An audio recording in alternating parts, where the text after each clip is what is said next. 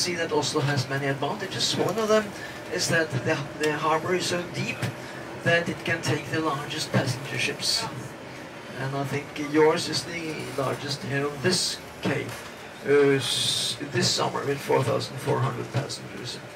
We see a little of the old fort here to the left. Can tell you more about that later. This afternoon you can walk up the little footpath and um, and uh, get acquainted with Oslo's old fortress, Akershus. Heute natta können Sie, ja, Sie hatten ja viele, viele Stunden, äh, können Sie diesen kleinen Fußweg gehen und durch das, die Tür da. Dann können Sie also die Festung kennenlernen, von 1299 gegründet. Wir fahren dann ein bisschen ostwärts, wo man einige von Oslos Sehenswürdigkeiten hat. Man sieht diese hier. Auf der anderen Seite wurde die Stadt so ungefähr um Jahre 1000 gegründet. Es gibt einen Ruinenpark, das ähm, das gut zeigt. This is a bay here with lots of new construction. It was uh, a very bad area some years ago with the decayed houses. The house to the left was the old harbor harbor storage house, and it had um, was not more in use, and it had broken windows and everything, but it was taken care of. And now has um, offices. Hier war das alte Hafenspeicherhaus links, so vor gute 120 Jahren gebaut, war lange in einem sehr schlechten Zustand mit ähm, eingebrochenen Fenstern, sah dreckig aus und alles. Viele meinten, man muss das abreißen.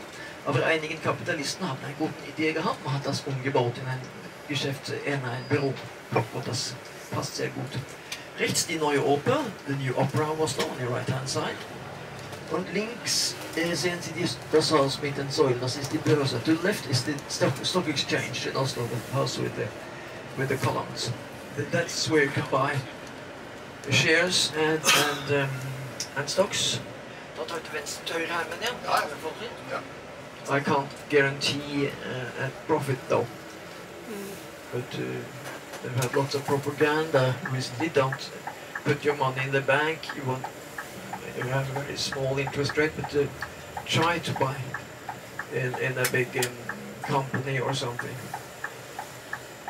or or one of the big funds, and you can earn much much more. In very small print, it also says you you might lose everything, which some people have actually.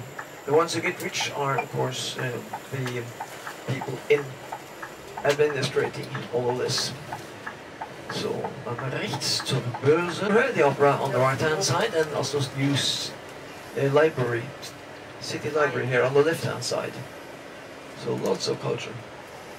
Uh, the opera was opened in 2008, uh, surrounded by lots of scandals. got the course march. 900 ingenting. So you can see what the station looks like today. Hier sieht man die Station. Und Dann ein paar Hochhäuser. Es wurde stark verhasst, als sie in den 90er Jahren gebaut wurden. Und man kriegte dann einen Beschluss im Stadtrat, dass man ab jetzt nicht höher als 12 Etagen äh, bauen dürfte.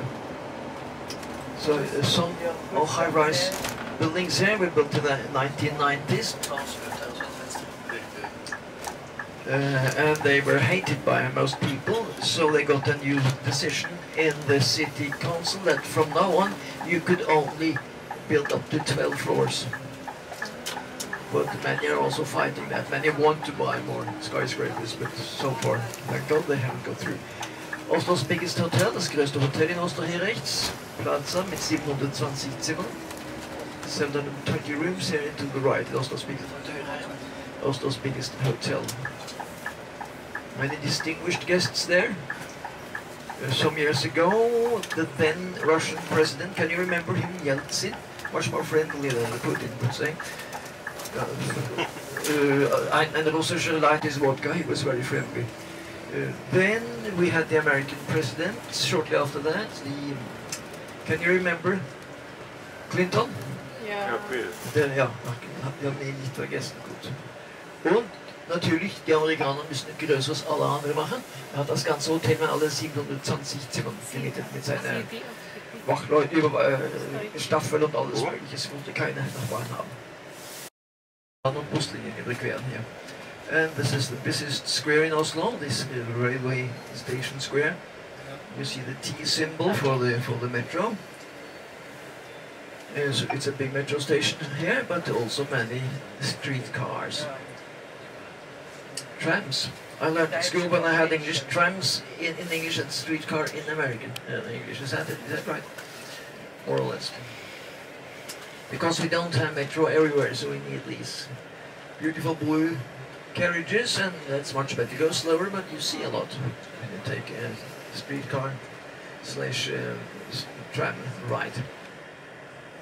So a little old, no, old age, straight ahead we see Oslo's uh, cathedral from 1696, with beautiful arches uh, around it, with many small shops and eating places.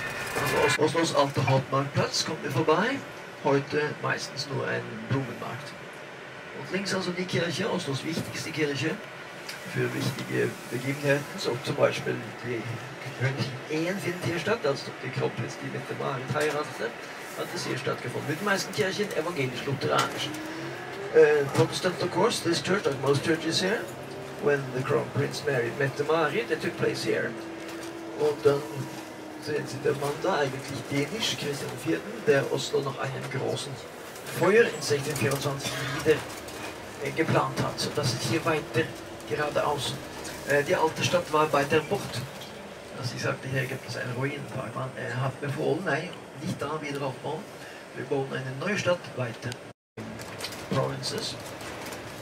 Viele Theater hier, links ein Vaudeville-Theater und hier ein großes Theater, das heißt der Norsk, also das norwegische Theater, Norwegian Theater, this is called.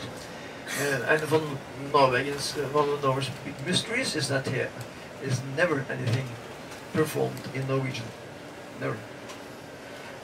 But it's hard to explain on a short tour, but it's too normal, so to say. Uh, Norwegian we use here in the east and in the west Masons, something they call New Norwegian, based on the dialects over there. And here is everything of the so-called New Norwegian, which is used.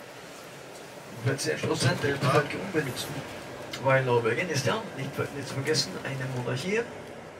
Und im Schloss, was im Band kurz rechts sehen werden, wohnt also der König und die Königin. Uh, Norway is ja uh, monarchy. So we have a king and a queen, and you'll soon see the palace where they live. Just briefly, as we cross the street, you'll have it on the right-hand side. We can see if the royal flag is up, if the king is at home or not. On the left, you could have seen before this bus came between us. Uh, he was married to an English princess. Uh, her name was Maud. You can see a monument to her on the right-hand side here. She was the daughter of of Edward VII. And he was again the son of, of Victoria.